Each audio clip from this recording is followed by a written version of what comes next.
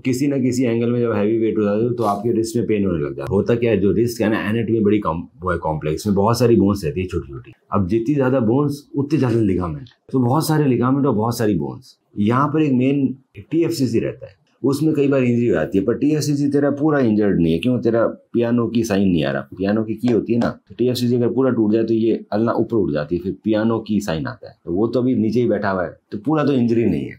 अब बात आ रही है कि रिस्ट में चोट लगी और रिस्ट में पेन रह गया। अरे बहुत कॉमन है इंडिया में क्योंकि इलाज पूरा नहीं कराते लोग। रिस्ट में चोट लगी आपने रेस्ट तो ले लिया।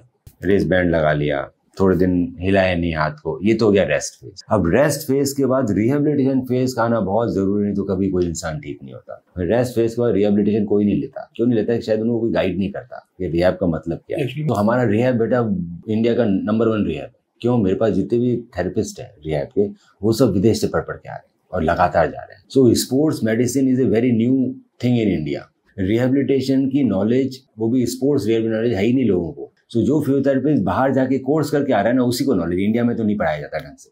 अभी टाइम लगेगा। बीस तीस साल लगेंगे इंडिया को अमेरिका ऐसा बनने में तब यहाँ भी बहुत सारे टीचर्स आ जाएँगे। अभी तो बच्चे को बाहर जाके लगातार सीखना पड़ता है। सो so, बिल्कुल सही है। अभी कोई एमआरआई नहीं कराएँगे, कोई एक्सरे नहीं कराएँगे, क्योंकि इस तरह से अगर मैं एम करने लग जाऊँ तो बहुत पैसे लग जाएँगे लोगों के, सबकी एम आर लगेगी अनलेस एंटिल मुझे कोई बड़ा डैमेज लग नहीं रहा। हम रिहेब चालू करते हैं इसका। आज जो सिखाएँगे सप्ते बाद कुछ और धीरे धीरे अपग्रेड कर करके आप आ सको तो अच्छी बात है, नहीं आ सको तो ऑनलाइन सीख लो। तो आपको जो सिखाया जाएगा, वो आप घर पे करते रहो। हैवी एक्सरसाइजेस तक पहुँचाने के लिए हमें चार पाँच महीने लग जाएँगे आपके। फिर दोनों हाथों में करनी है, ज़िंदगी में कोई पेन नहीं होगा।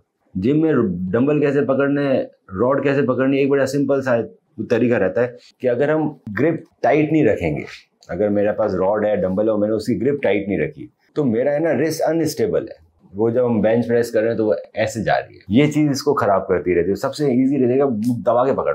दबा के पकड़ने से क्या होगा? मेरे यहाँ के टेंडेंस और यहाँ के टेंडेंस टॉट हो गए। सो बस ग्रिप जितना तेज पकड़ सको, उतना तेज पकड़ के एक्सरसाइज करनी थी लूज मत छोड़ो ग्रिप कुछ लोग क्या करते हैं? ऐसे लूज करके यहाँ यहाँ पे वेट डाल देते हैं। तो वो नहीं तो कराएँगे भी। तो इस तरह की छोटी छोटी बहुत सारी चीज़ें हैं। सर, कुछ लोग समझदार होते हैं, जल्दी आ जाते हैं। कुछ लोग इग्नोर करते हैं पछताते हैं बाद में। स्टेप वन आप अपनी एमआरआई रिपोर्ट मुझे व्हाट्सएप करें।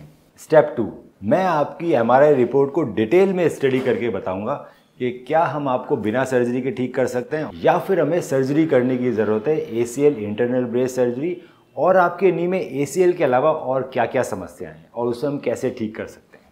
स्टेप थ्री जब आप मुझसे मिलने आएँगे तो मैं आपके नी का डिटेल्ड फ़िज़िकल एग्जामिनेशन करूँगा, आपकी फिल्म्स को डिटेल में देखा जाएगा और उसको देखते हुए आपसे ट्रीटमेंट ऑप्शंस डिस्कस किए जाएँगे। आपके जितने भी सवाल हैं, उन सभी का मैं जवाब दूँगा।